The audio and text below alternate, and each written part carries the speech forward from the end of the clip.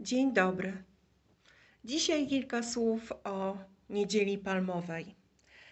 Tutaj znajdują się dwie palmy w tej chwili. To jest palma z tamtego roku, bukszpan ozdobiony kwiatuszkami z bibuły, bo tak się robiło i bardzo często się robi. Tu mamy drugą palmę, która jest sprzed dwóch lat, wykonaną z samego papieru, z bibuły, z różnego rodzaju e, mięsistych papierów i tak dalej. I tak też bardzo często robimy dzisiaj właśnie e, palmy. Ja chciałabym dzisiaj powiedzieć kilka słów o naturalnych roślinach, które wykorzystywało się dawniej do robienia tych pierwszych, pierwotnych naszych palemek. I co to jest?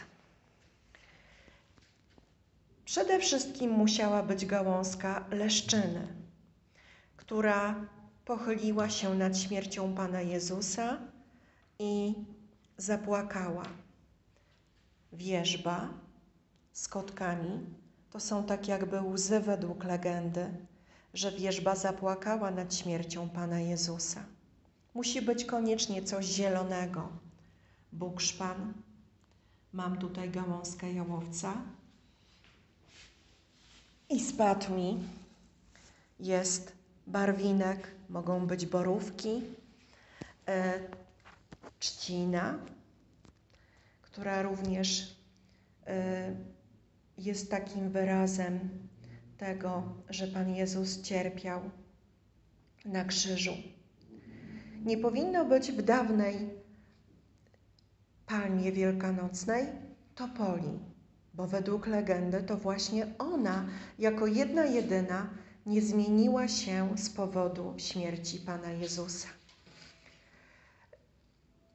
Gdy zrobi się palmę wielkanocną, e, wierzbną, na niedzielę wierzbną, na niedzielę kwietną, bo tak również była e, e, nazywana niedziela palmowa, to po wyjściu z kościoła bito się nawzajem tymi palemkami wykonanymi właśnie z tych naturalnych roślin. Uważano, że to bicie ma dać nam zdrowie, powodzenie. Mówiono wtedy, to nie ja biję, palma bije, sześć nocek do Wielkiej Nocy. Wierzono również, że każda z tych roślin, która znajduje się e, w palmie wielkanocnej, jest rośliną leczniczą. Szczególną rolę przypisywano tym baziom. E, dawniej nazywano, nazywane były one bagniątkami. Uważano, że jak ktoś zje poświęcone bagniątko, będzie miał zdrowe gardło. A cały rok ta palma stała albo była gdzieś postawiona, albo wetknięta za święty obraz. Można było zrywać te bagniątka i parzyć sobie przy gorączce. Używano również jałowca do okadzania pomieszczenia. E, korzystano z kotków leszczyny, gdy były jakieś stany zapalne, gdy ludzie e, czuli melancholię, popadali w depresję. Te elementy zielone, barwinek, jałowiec, bukszpan to symbol nowonarodzonego życia, zmartwychwstania.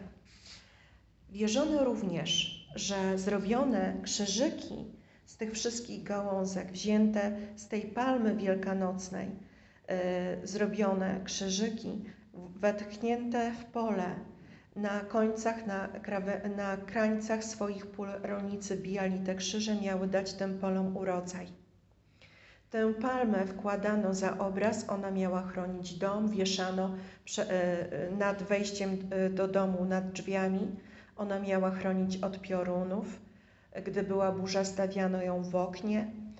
E, ta palma również była symbolem tego, że my jesteśmy z prochu powstaliśmy i w proch się obrócimy, a poprzez co się to wyrażało?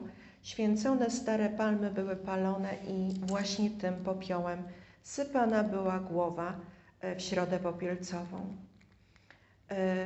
Ogromna jest symbolika tych wszystkich roślin dawniej używanych e, do robienia palem. Przeważnie one były właśnie takie naturalne, Zróbcie sobie naturalną palmę. Można ją jedynie ozdobić jakimiś suszonymi kwiatuszkami.